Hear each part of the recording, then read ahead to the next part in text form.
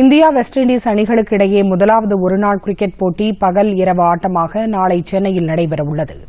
இந்தியாவில் சுற்றுப்பயணம் மேற்கொண்டுள்ள வெஸ்ட் இண்டீஸ் கிரிக்கெட் அணி ஏற்கனவே மூன்று இருபது ஓவர் போட்டிகளில் இந்திய அணியுடன் விளையாடியது.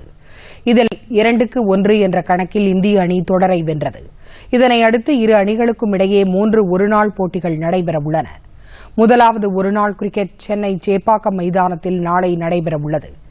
பிற்பகல் ஒன்று முப்பது மணிக்கு போட்டி தொடங்கும் என அறிவிக்கப்பட்டுள்ளது.